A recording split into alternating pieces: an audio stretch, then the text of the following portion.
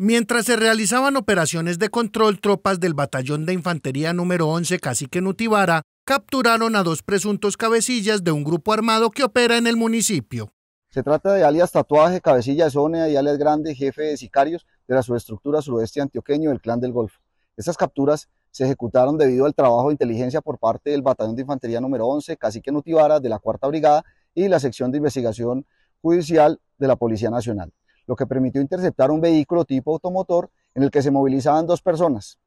Con el automotor estacionado, los uniformados procedieron a realizar la verificación de quienes se encontraban allí, identificando alias Tatuaje y alias Grande. Asimismo, cuando se desarrolló la inspección al vehículo, se hallaron en su interior dos armas cortas, proveedores, municiones de diferentes calibres y equipos de comunicación. El material encontrado y los dos capturados quedaron a disposición de la autoridad correspondiente para los procesos de judicialización.